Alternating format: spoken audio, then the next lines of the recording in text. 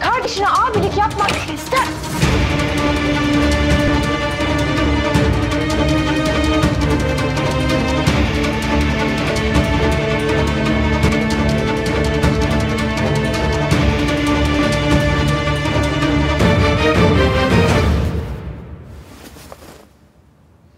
Yüzüme bak.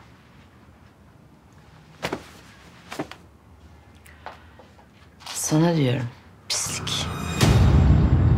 Duydunuz kraliçeyi.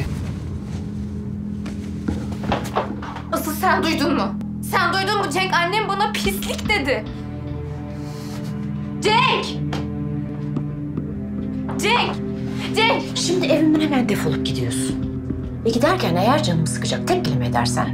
...seni de ailende pişman ederim.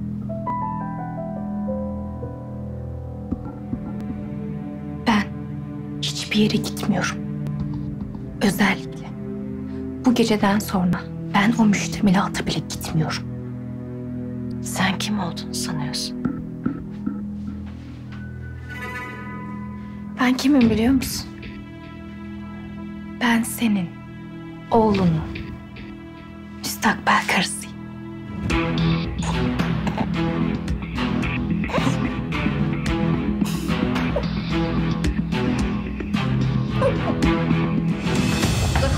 Gece, ilk gece söyledim ben sana değil mi? Eğer yatağına giriyorsam evleneceğiz diye dedim ben sana değil mi? Ya söylesene. Söylesene annene Cenk. Söyle hadi. Sen de biliyorsun evleneceğimizi söyle. Bunu benim sana söylediğimi söyle. İşte bu özgüvene bayılıyorum ben ya. Vallahi bu kız çok iyi anne. Çok iyi. Çok iyi bir kız.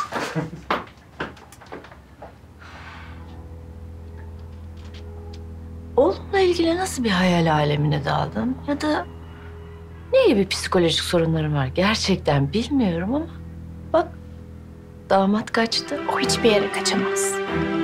Onu ben tutamazsam kocanız tutar. Şehriz Hanım, bilmiyorsunuz galiba. Ama beni buraya kocanız getirdi. Beni seçti. Beni. Üstelik oğlunuzla evlenmem için üstüne bir de para verdi. Ya Bana uydurduğun her şeyi Agah Bey'e de söyleyeceksin. Ama sonrasında bu evden nasıl çıkacağına dair sana en ufak bir garanti veremiyorum. Benim kimseden korkum yok. Ne senden ne de kocandan korkmuyorum ben.